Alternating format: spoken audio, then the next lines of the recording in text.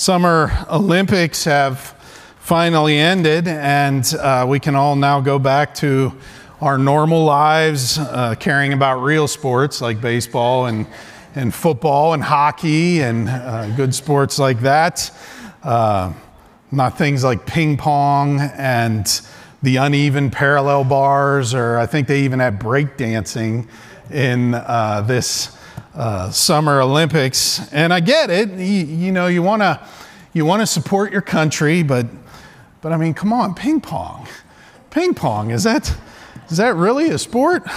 but but we can't help ourselves, right? Every time the Olympics come around. Uh, we tend to be a people who like to just kind of jump on the bandwagon of, of the popular things and act like we care about uh, a lot of those sports that uh, we generally don't think about except every once every four years. And it isn't just with the Olympics. Uh, this idea of jumping on the bandwagon all the time uh, can happen around many different things. Uh, we jump on the bandwagon when there's excitement created around um, things like fashion. I remember when I was a teenager, every, every teenage boy had to have Nike Air tennis shoes, right? Uh, that was like something that everybody had to have. Um, or it could be centered around even social media trends. Like 10 years ago, I remember the remember everybody had to do the ice bucket challenge, which I don't know what it was all about. I don't know what the challenge was, but it seemed like everywhere you look, somebody was dumping ice water on their heads, right? Or it could be a, a, popular toy for the Christmas shopping season. And, and if you're old enough, you remember back to the 80s, and of course, you remember the, the Cabbage Patch doll. My sister had to have a Cabbage Patch doll. It was just the coolest thing to have, right? Or possibly, and maybe by far the most annoying jumping on the bandwagon that is out there, is when it concerns your favorite sports teams right? Uh, and this is my little pet peeve, so I'm just going, going off the script a little bit here. I just want to tell you um, a true sports fan that has suffered through years of failure and many people around them saying things like, I don't know why you care. They're terrible. Those guys make too much money. I got better things to do with my time than support that team. And then the second they start winning, who are the first people who are wearing all of their gear? There's not an ounce of skin that isn't covered with the, the team logo. You see how that can be a, a, a little annoying. They're best friends with all the players right? They seem to have, you know, they see the players in Target or something and they, they uh, act like they're best friends with them, and they uh, all of a sudden become experts about things that they know nothing about because they don't watch the sport. And they're acting like they're your team's most loyal followers. You know, they're jumping on the bandwagon. And that can be annoying, am I right? Well, this phrase, jumping on the bandwagon, it, it goes way back. It's, it's something that's been around for a couple hundred years in our country. It has its origins in the 1800s, and, and it was linked to, to circuses and uh, also political campaigning. That's a bandwagon right there. In the mid 19th century, when circuses would travel from town to town, of course, there was no uh, you know, advertising like you would have today. There's not television, there's not radio, internet, things like that. So they would just come into town with this brightly uh, decorated wagon and it had a band on it and it was playing music and just to attract attention, telling everybody in the town that the circus was on its way. And this wagon was known, of course, as the bandwagon and people would jump all over it in excitement and they would ride it as, as it worked its way through town because it was like the biggest thing that was going to happen to the town was the circus was coming. And so this bandwagon idea started getting picked up by uh, political campaigners too, it, particularly uh, 1848 presidential campaign of Zachary Taylor. Uh, I hope no one here remembers that campaign, but in, in no time, uh, politicians were using these bandwagons too, and, and it was attention grabbing, uh, uh, excitement, and generated popularity around uh, their campaign. And so over time, uh, the phrase became known as uh, joining with or aligning with a popular trend or movement, often to gain uh, maybe some advantage, or, or, at least to avoid missing out on something that uh, seems to have widespread approval. And this bandwagon jumping actually has a psychological uh, phenomenon around it known as the bandwagon effect. And the effect refers to people adopting certain behaviors or, or styles or attitudes simply because others are doing so. Essentially, the popularity of a trend increases its attractiveness, leading more people to jump on the bandwagon. People are like this, of course, for a couple of reasons. Uh, generally, we are people that are influenced by actions and opinions of others, whether we believe it or not, or we say that we aren't influenced by others. We, in many ways, are. Often, we want to fit in to be accepted by a group, and also, we might want to adopt a trend because if other people are doing it, it sort of legitimizes it, right? If everybody's doing it, then that must mean that it's, it's right and true. Although we all know um, that just because a lot of people are believing it or doing it, it doesn't mean that it's right. What's the old phrase your parents told you? If your friend was jumping off a bridge, you know, would you also? Now, it's one thing when you have a bandwagon jumper when you're being annoyed at a Super Bowl party, uh, which, by the way, a little side note there if you're having a Super Bowl party, when your team is in the Super Bowl, it means you're a bandwagon jumper, okay? Because true fans can't concentrate on a party, they can't concentrate on entertaining people when, their when their team is going for a championship, right? So a true fan doesn't have a Super Bowl party. Uh, but anyway, that's just a little sidebar.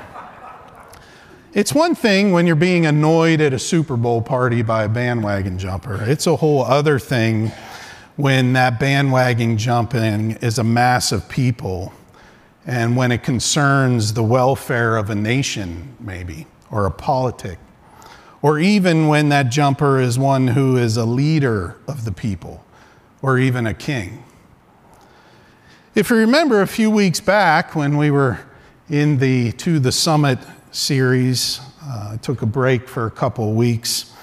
Uh, we were going through the book of Judges, and the book of Judges ends with the words In those days there was no king in Israel. Every man did what was right in his own eyes.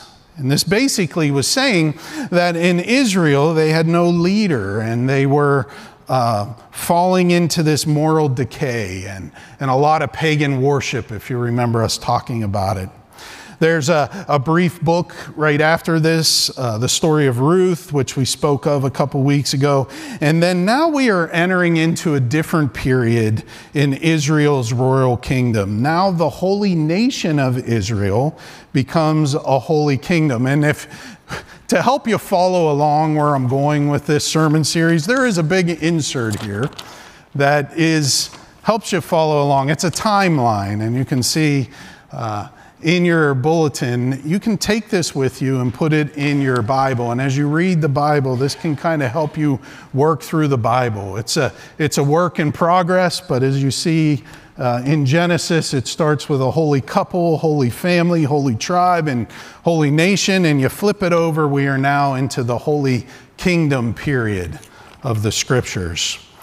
And this period includes Old Testament books of 1st and 2nd Samuel parts of First Kings, uh, First and Second Chronicles, Psalms, Proverbs, Song of Songs. Uh, and this period centers around uh, many king p- people, including Samuel, Saul, David, King David, and King Solomon, King Saul as well.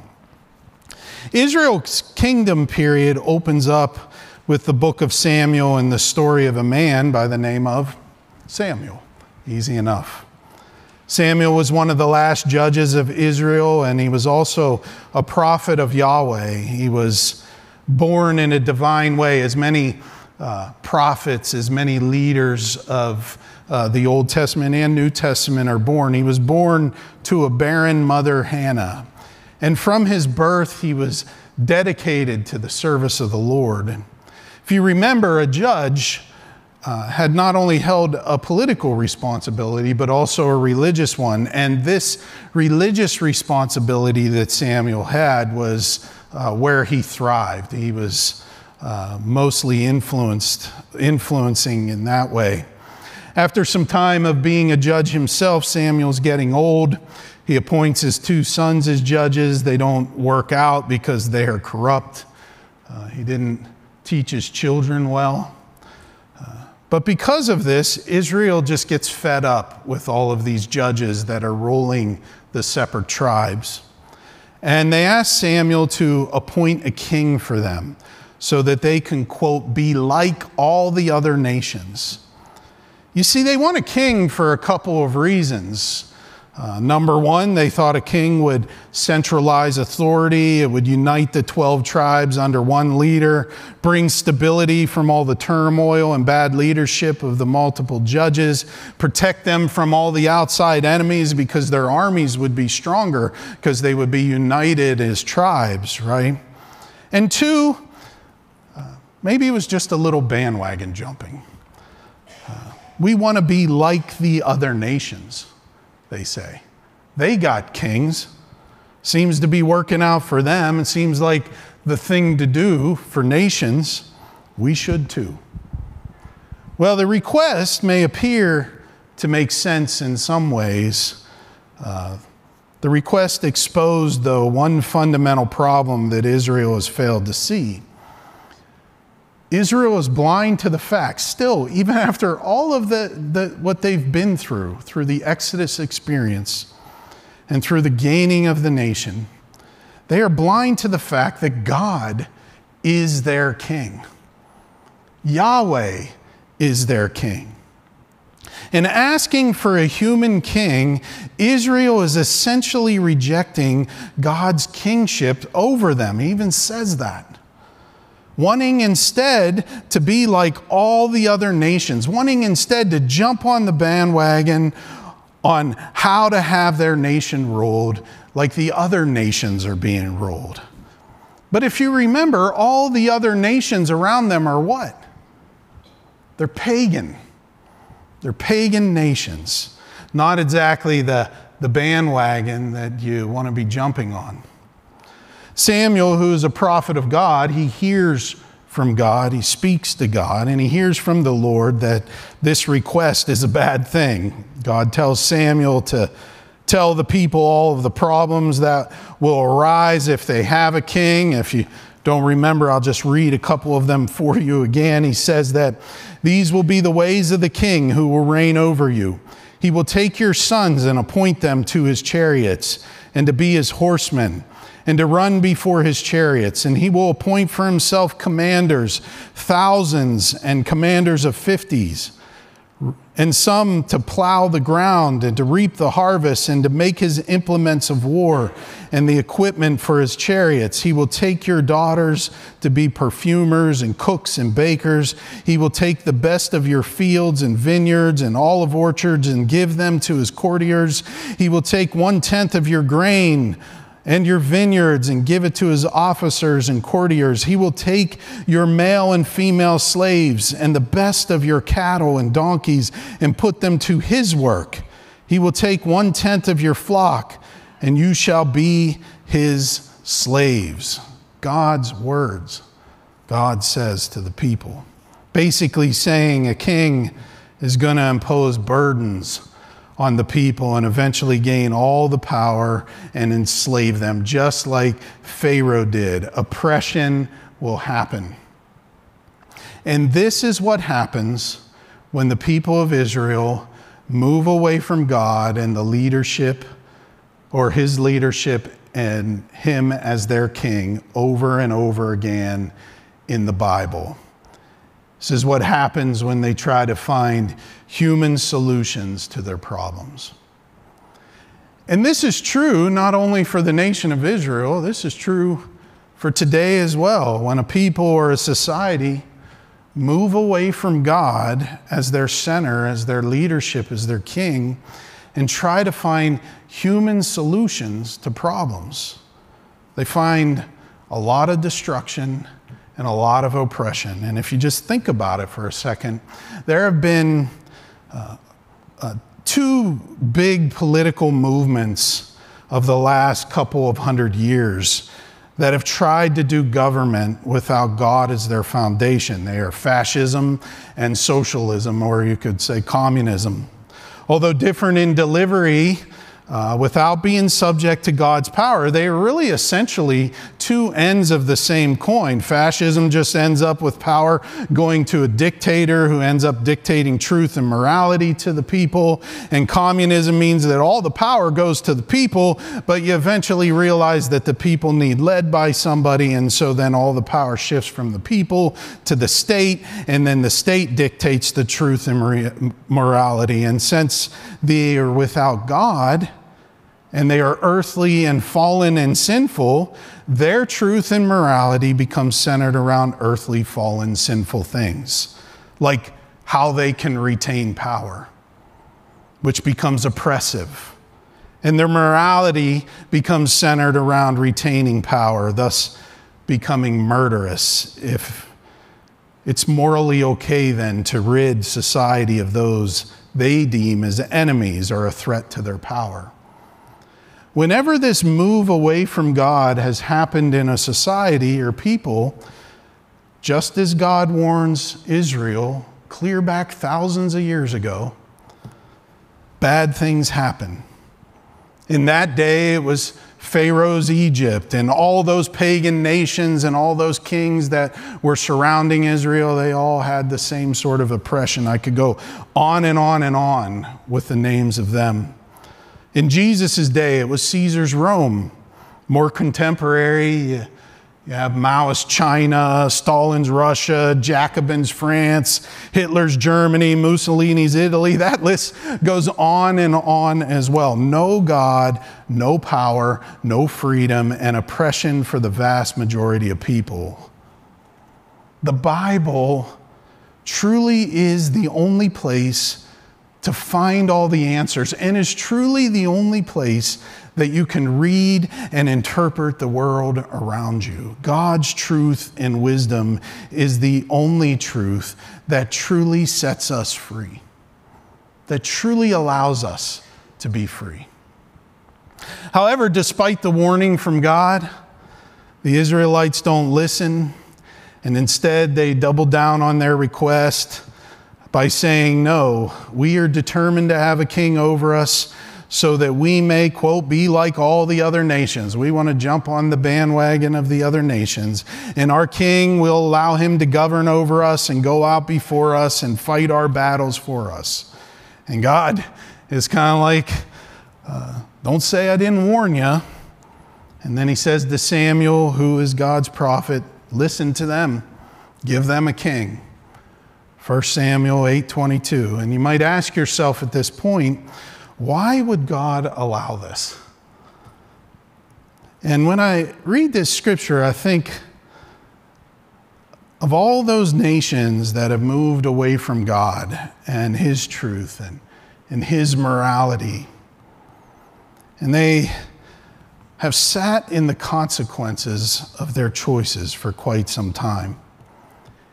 And I think that's why God allows us to have that freedom sometimes, because sometimes we need to sit in the consequences of our choices. I've been to Russia many times. People own nothing. They have very limited choices of things they can own. They don't thrive in their careers.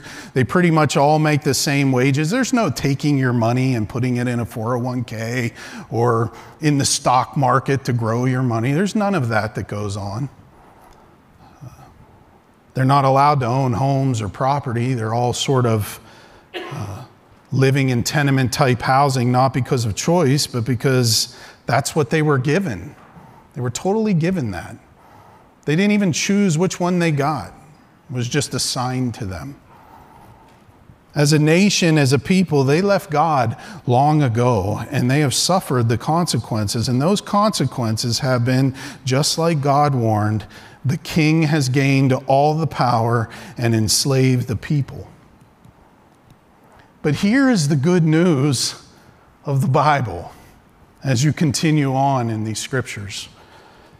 In the story of the people of Israel in the Bible, and also for all of his people today, the good news is that no choice that we can ever make is going to be a threat to God's will and plan for his people.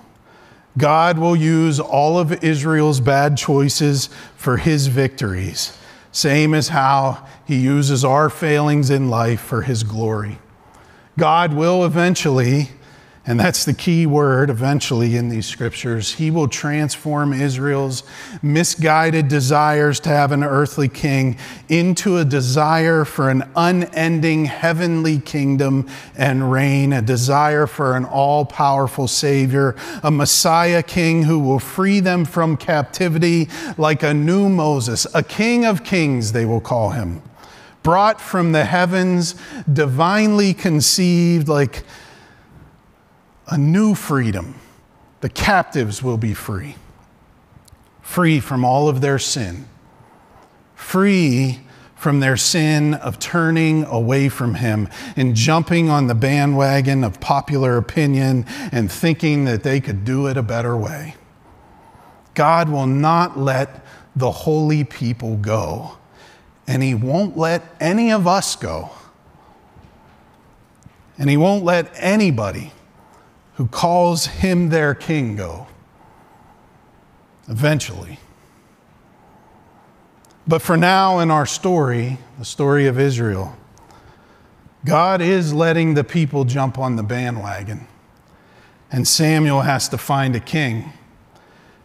And he has to do all that he can to keep this king that's on the way, the king that he finds, to serve the Lord first. And that's going to be a tough task. We'll get into that next week.